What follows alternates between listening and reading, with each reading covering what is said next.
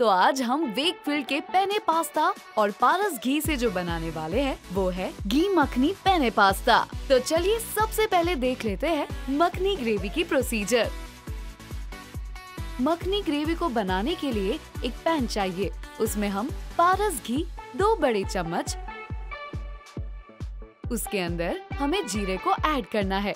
हम इसमें सारे खड़े मसाले ऐड कर लेने हैं। फिर उसके अंदर हमें अदरक, हरी मिर्च, लहसुन और जिंजर गार्लिक पेस्ट डालकर उसे थोड़ी देर सोटे कर लेना है। अभी हम इसमें प्याज ऐड कर लेंगे और जैसे ही प्याज ट्रांसपेरेंट हो जाए, तभी हमें उसमें टमाटर को ऐड कर लेंगे। हम टमाटर को बाद में इसीलिए ऐड करते हैं क्योंकि वो पानी से भरे होते हैं और कुकिंग प्रोसीजर को कट डाउन करते हैं।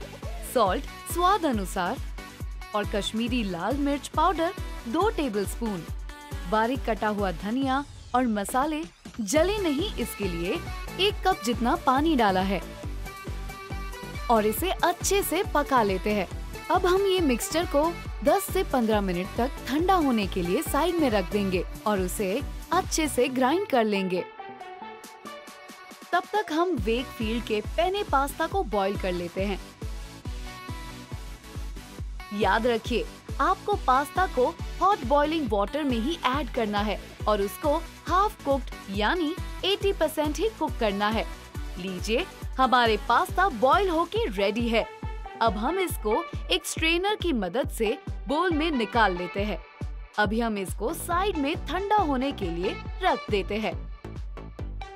तो चलिए वेजीज को सौते कर लेते हैं, जिसके लिए हमें एक छोटे से पैन में ऑलिव ऑयल को हीट करना है और उसमें सारे वेजीज जैसे try colour bell peppers broccoli और सारे सीजनिंग डालेंगे, जैसे salt black pepper chili flakes oregano and fresh parsley olives और एलोपिनोस को ऐड करके थोड़ी देर पका लेना है।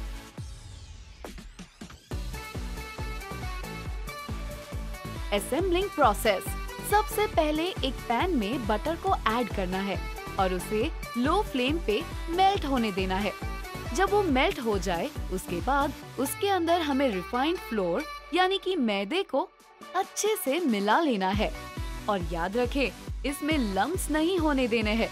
जैसे ही हमारे रो रेडी हो जाए, उसके अंदर हमें दो कप जितना मिल्क ऐड करना है और सीजनिंग के लिए सॉल्ट एंड ब्लैक पेपर को ऐड करके एक सॉसी कंसिस्टेंसी तक पका लेना है।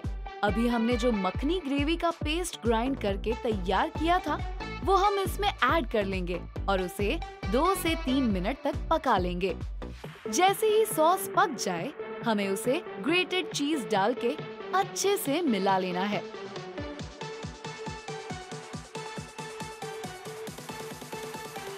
सारे सौते किए हुए वेजीज ऐड कर लेंगे और वेक फ़ील्ड का बॉईल किया हुआ पेने पास्ता डाल देंगे और चार से पाँच मिनट तक पका लेंगे।